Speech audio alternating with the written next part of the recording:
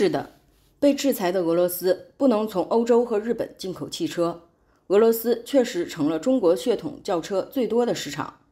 二零二三年前六个月，中资车企的产品在俄罗斯市场上销量达到十六点八万辆，占据了百分之四十九的俄罗斯市场份额，在新车销售量榜前十名中占了六席。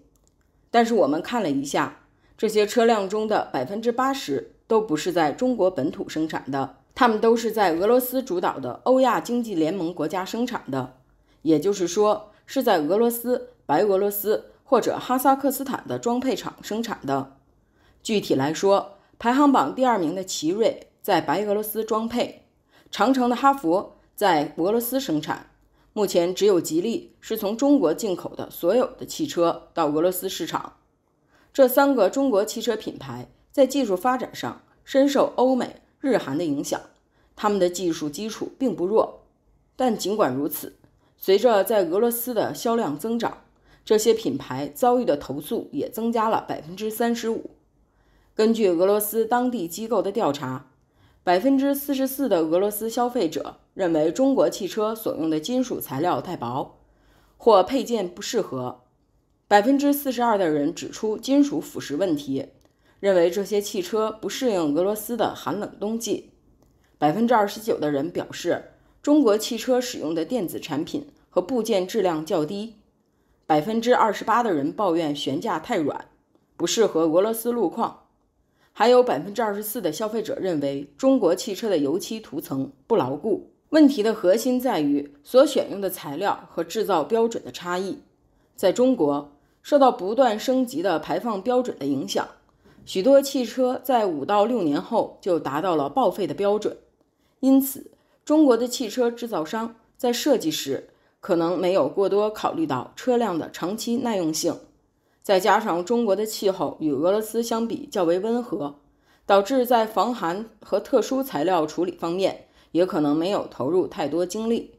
而当这样的车型被引入俄罗斯的极寒环境中，短时间内就可能出现各种问题，也就凸显了中国制造的豆腐渣工程的特点。在俄罗斯。中国汽车因其较薄弱的车身和响声不断的内饰，被戏称为“吸罐”。由于相对较低的安全标准，也被戏称为“带轮的棺材”。叶卡捷琳堡的车主埃里克斯·斯姆林表示：“我宁愿购买一辆旧的奔驰，也不想买一辆我甚至连名字都读不准的中国新车。我永远不会换中国车。”莫斯科的车主伊利亚分享了他最近试驾全新奇瑞瑞虎7 SUV 的失望体验。他描述道：“想象一下，你坐在副驾驶位置，即使风扇关闭，还是能感受到腿上有风。”他认为这是因为橡胶密封条的问题。他补充说：“这意味着灰尘和尾气会进入车内，冬天最好穿得暖和一些再坐进车里。这真的很让人不愉快。”我敢断言，很多购买中国车的人都会遭遇到这些令人不快的小惊喜。一个俄罗斯的出租车司机表示，在俄乌冲突后，他开过几款中国汽车。他认为，与他2022年购买的斯柯达相比，这些中国汽车在驾驶稳定性上明显不足。这不仅是他的看法，俄罗斯的出租车行业中，大部分司机都更青睐现代、起亚和雷诺的 Logan。特别是雷诺 Logan 这种法国原装车，很多车辆可以行驶长达五十万公里而不需要大修，受到了欧洲、受到了俄罗斯人的喜爱。另外，据俄罗斯汽车专家的评价，中国汽车在平整的沥青路面上的表现还不错。但是，考虑到俄罗斯地域广阔，车辆经常需要在泥泞的道路上行驶，加之俄罗斯驾驶者。通常喜欢激进的驾驶，在颠簸的状态下，中国车的底盘和悬挂系统就显得不尽如人意。俄罗斯汽车界的权威人士还指出，许多中国汽车普遍采用触摸屏操作，而在实际驾驶中，与传统的物理按键相比，触摸屏容易导致驾驶员分心。此外，对于俄罗斯车主来说，很多中国车的座椅设计尺寸不够。同时，某些中国车的发动机和变速箱的实际表现和宣传的数据有所出入。如果俄罗斯消费者选择购买中国车型，他们未来几年在车辆保值方面可能会面临挑战。主要原因是部分中国车在俄罗斯的维修和零部件供应链还不够完善。在寒冷的俄罗斯，中国汽车的生锈问题引起了消费者的广泛关注。调查显示，超过半数的俄罗斯驾车者认为中国车只部分适应了当地严酷的气候。这不仅仅是一个单纯的产品问题，更反映出了部分中国车企对长期市场的短视策略。考虑到俄罗斯各城市每年的降雪天数超过一百一十天，汽车不得不长期与融雪岩接触，电离出来的氯离子会让汽车底盘及金属部件会受到严重的腐蚀。但似乎部分中国车企在产品设计中并未充分考虑这些。你们猜？中国的车企老板是怎么想的呢？提车俩月，到处生锈，你受得了吗？欢迎真实车主们也检查一下你的座椅支架。咱们在国内卖的车也生锈啊，怎么没见有车评人出来抱怨呢？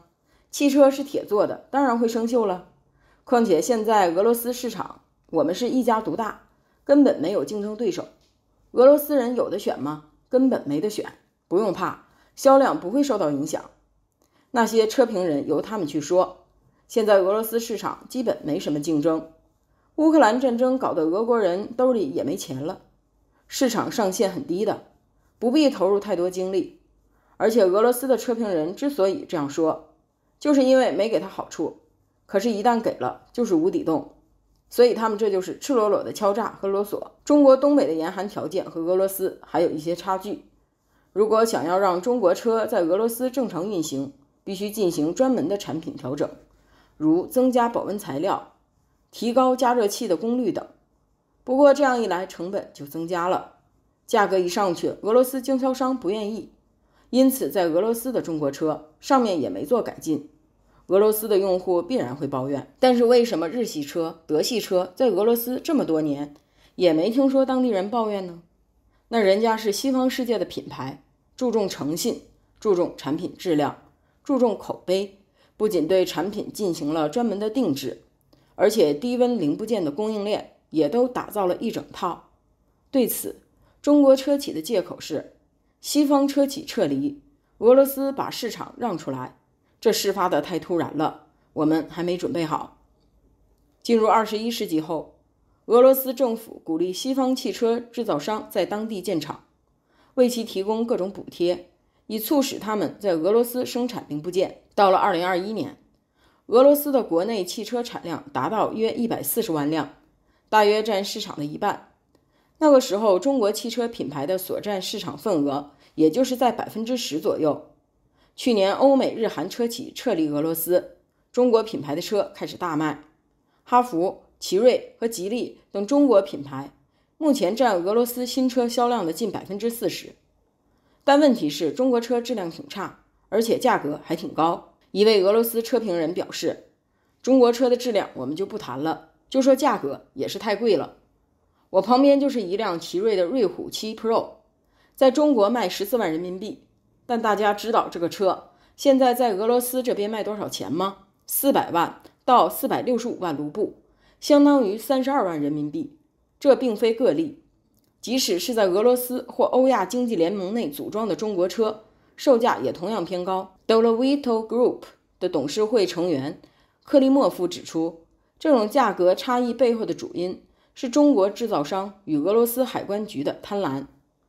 法国雷诺公司的莫斯科工厂，百分之百的股份转让给了莫斯科政府，之后使用中国汽车制造商。JAC 的生产线量产 Moskvich Three 汽车，价格一点都不便宜。汽车分析师齐加诺夫在 Telegram 内部频道 Russian Automobile 上写道：“与欧洲同类产品相比，Moskvich Three，你搞没搞错呀？内饰有中国味儿，方向盘角度不可调节，加速能力较弱。”齐加诺夫指出，驾驶这款车时。他几乎感受不到汽车应有的驾驶体验，该车的操控性与稳定性几乎为零。此外，由于车窗玻璃过于薄弱，外部的噪音如同直接钻入大脑。使车内噪音尤为显著。齐加诺夫表示：“我实在不明白 Moskowitz 是怎么打算卖出数万辆这样的车的。”在过去的二十年，俄罗斯大量推进汽车产业的国产化和进口替代策略。到了二零二一年，进口汽车的比例较十年前减少了四倍。在伏尔加河地区、西北部和中部地区，大型汽车产业集群已经初具规模。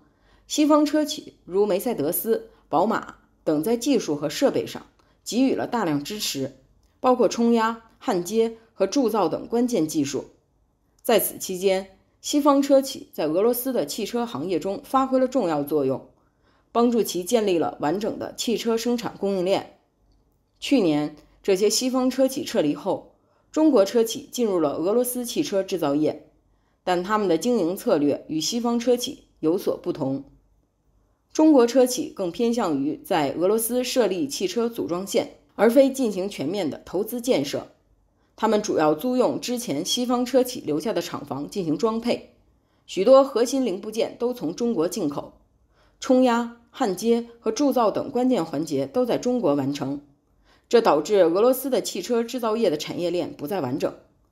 要让中国车企帮助俄罗斯建立起像西方车企那样的供应链，不仅需要多年的努力，而且所建立的产业链在质量上也可能无法匹敌西方。受制裁的影响，俄罗斯汽车工业严重倒退，连安全气囊都要从印度进口。因缺乏安全气囊和 ABS 系统，俄罗斯为了维持汽车产能，直接修改法律，允许车企生产没有安全气囊、没有 ABS 系统，也可以不装 ESP 系统，连安全带都可以不装的新车。由于缺乏关键电子控制单元，卡马汽车厂只能回归生产1970年代的 Euro 2环保级车辆，而 AutoVAZ 则开始生产没有自动变速器的汽车。即使在得到中国的协助下，这些制裁仍在让俄罗斯的汽车技术倒退。即使是在汽车的组装环节，中国车企在效率上也难以与之前在俄罗斯的西方企业相媲美。以雷诺在莫斯科的前工厂为例，组装八十六辆 Moskowitz 汽车现在需要两个月的时间，而在雷诺管理下，相同数量的汽车只需三小时便可生产完成。